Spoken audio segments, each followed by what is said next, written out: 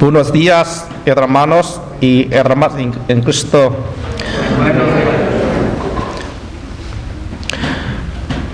En el Evangelio de hoy describe nuestra relación con Jesús y su Padre. Yo soy la verdadera vida. Mi Padre es el viñador. Al sarmiento que no da fruto en mí, Él lo arranca. Y aunque da fruto, la poda para que dé más fruto. El propósito de los sarmientos es dar frutos. Los sarmientos que no producen nada se cortan y se desechan en el fuego. Jesús establece un hecho básico de la vida. Una vida que no produce fruta es una vida desperdiciada.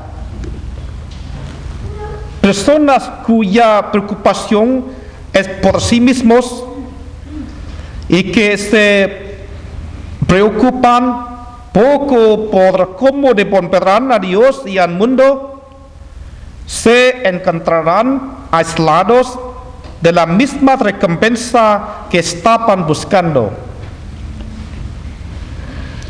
Pero incluso los sarmientos que producen frutos se podan. Incluso si eres bueno, te va a doler. Dios toma un sarmiento de la vid y dice, lo estás haciendo bien, pero hay algunas partes de tu vida que te impiden convertirte en todo lo que puedes ser. Voy a podarlas. El proceso es doloroso en ese momento y te preguntas por qué te está pasando esto. Más tarde miras hacia atrás y si ves tendidas en el suelo las hojas que fueron cortadas.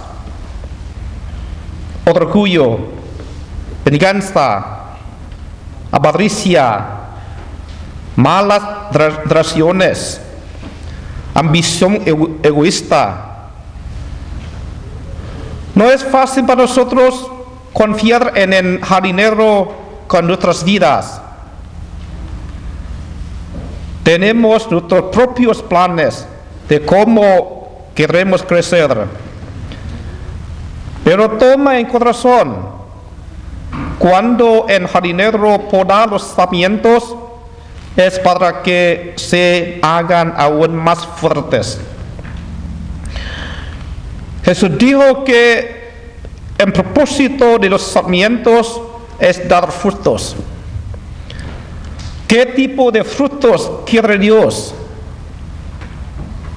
Ellos son el amor, alegría, paz, paciencia, amabilidad, bondad, fidelidad, dulzura y autocontrol.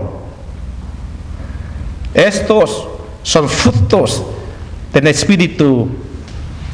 Estos son lo que Dios anhela ver que sucedan en nuestra vida.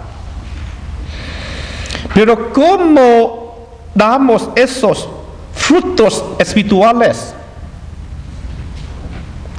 ¿Cómo puede una persona que por naturaleza es de temperamento caliente, de temperamento corto, malhumorado, convertirse en alguien que es pacífico, paciente y amable?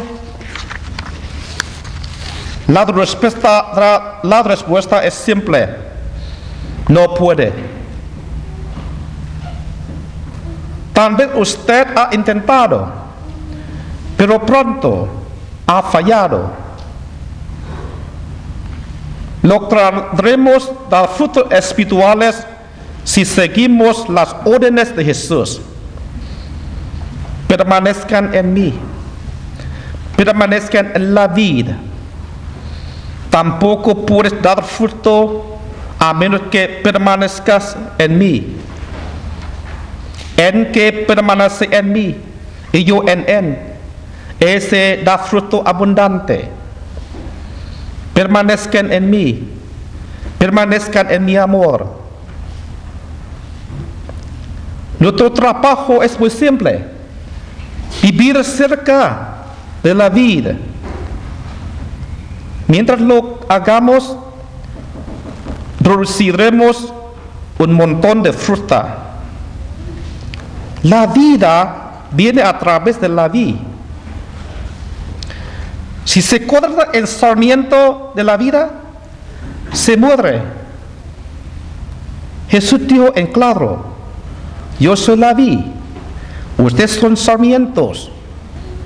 En que permanece en mí y yo en él, ese da fruto abundante. Porque sin mí nada pueden hacer. Un sarmiento muerto no va, a, no va a hacer nada por nadie, incluyendo a sí mismo. Un sarmiento que está viva y próspera producirá una cosecha abundante. Dará una persona que tiene una vida abundante en Jesús, dará frutos en sus acciones. Hermanos y hermanas, permanezcan en Jesús para dar frutos espirituales en su vida.